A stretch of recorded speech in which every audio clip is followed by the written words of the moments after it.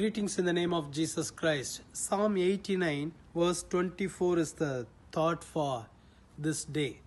But, my faithfulness and my mercy shall be with him, and in my name his horn shall be exalted.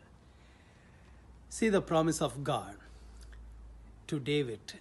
Again, this scripture talks about the life of David. Here, God says to David, My faithfulness and my mercy shall be with him, and in my name his horn shall be exalted. David had had the grace of God in his life. David had the faithfulness of God in his life. Always he trusted in the name of the Lord. That's why God exalted his name. If you have the mercy of God and the faithfulness of God in your life, it will help you to see the elevation in your life. When David faced Goliath, he put his trust in the name of the Lord and he said, Today I am coming against you in the name of the Lord. Later on, we all know that he found victory over Goliath. Then, when he went to the palace, all the women in the palace they sang like this Saul killed thousand, but David killed ten thousand.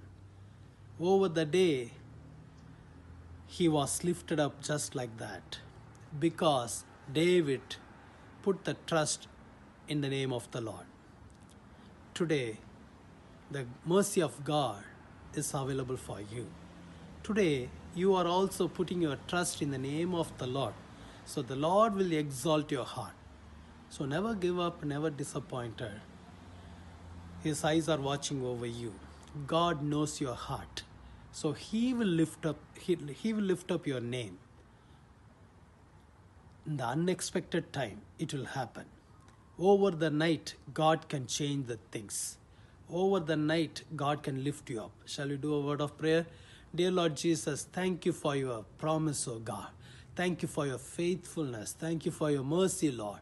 Lord, thank you, Lord Jesus. We put our trust in your name one more time. Lord, I pray for all the people, those are listening to this video, Lord. Lord, let them be exalted by your hand, O God, because they put their trust in your name, O God. Jesus, remove every obstacles for their elevation, O God. Lord, we believe that your mighty hand will lift them up, Lord. The world will amaze when they see their life, O God. Jesus, I pray for promotion. I pray for the tremendous change in their life. Do a miracle, Lord. Let this day be a day of blessing for your children. Let them trust you and your name alone, O God. In Jesus' name we pray. Amen. Put your trust in the name of the Lord. He will lift you up. Amen.